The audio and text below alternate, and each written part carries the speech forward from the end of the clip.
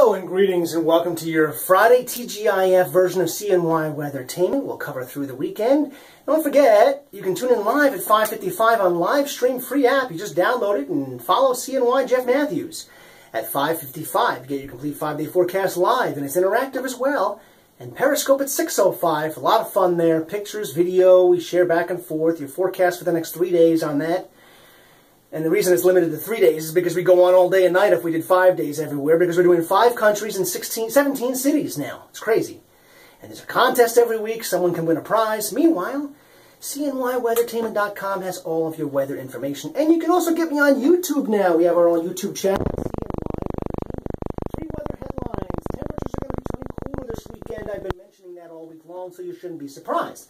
The rain that's coming our way for Friday will end before the day ends. The weekend, especially Sunday, a little bit up in the air. We'll talk about it. Meanwhile, temp trend. Trending warm for Friday, but then much cooler for the weekend as promised. About average for Monday and meandering close to average, which continues to slowly go up at 60 degrees, which is five dozen cousin for the next few days.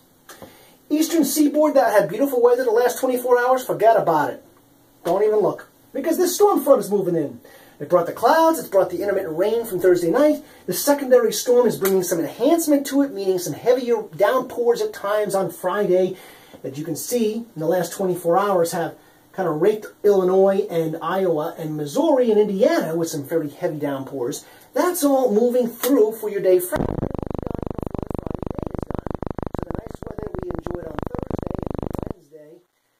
With the increasing clouds on Thursday afternoon. The rain Thursday Friday. The rain will end in time for a pretty good looking Saturday. And then not so much on Sunday. Okay? But the almanac first. Double upside down, up, double upside down hockey sticks for a high. If you take those 77s and you put them upside down, you got double hockey sticks. That 77 was even above my forecast, and the 31 was very close to my forecast for the low. But look at the wide range. That is a 46 degree temperature spread from the time you started your day at 6 or 7 a.m. to the time you were outdoors for lunch at 2 or 3 o'clock in the afternoon. That's unbelievable. That's a huge range. It indicates to me that the air was very dry on Thursday without much wind and totally clear sky for much of the day. That's how you would get that kind of a range. Meanwhile, it actually got close enough on the high and the low side 9 off the record high of 86, but on the same day today, we were only 10 off the record low. You know, those records didn't go in the books on the same day. Those were different years.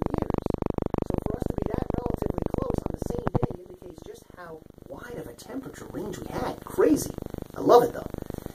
1345 on the daylight, still increasing at a pretty good clip. Before we get to the forecast, I want to remind you the forecast is brought to you in part by Picture Perfect Pool and Affordable Spas, Route 5, New Hartford. Check it out. Check out my forecast for Friday. Several downpours, which is a way of saying it's not going to be continuous all day. There'll be intermittent showers in the morning. There'll be a few downpours in the late morning and afternoon hours because of that secondary storm pushing in. There will also be a few breaks of sun in between the showers, which should be enough to get us up to about 70 degrees. Friday night, clearing up quickly, but there may be some fog in its wake. So with the moisture on the ground from the fallen rain and the temps falling off and getting cool, there may be enough moisture in the atmosphere to create skies some fog, a low of 45. Saturday, assuming there isn't much fog, should be mostly sunny, a bit cool, double nickels. Similar temperature-wise for Sunday, but clouding up a 4 p.m. shower. How do you like this for three days out. A 4 p.m. shower let's say 3, 4, 5 o'clock in the afternoon. One shower. Then overnight into Monday, there'll be periods of showers. The significant rain will occur north of Route 20, so north of Waterville.